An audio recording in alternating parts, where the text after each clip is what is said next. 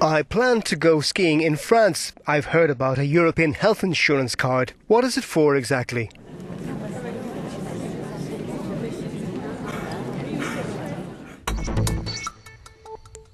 This card facilitates healthcare services during a trip or a temporary stay in one of the countries of the European Union, plus Switzerland, Norway, Iceland and Liechtenstein.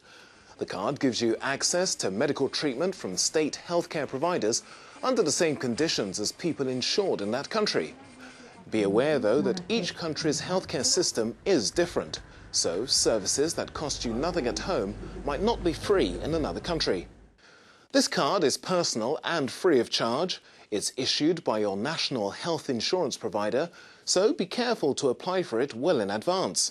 It should also be stressed that it only covers the necessary and unexpected care.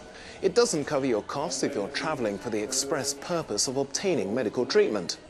And it must also be underlined that it's not an alternative to travel insurance.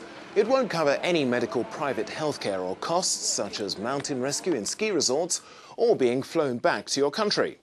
For more information about what's covered in each country, a specific smartphone app is available.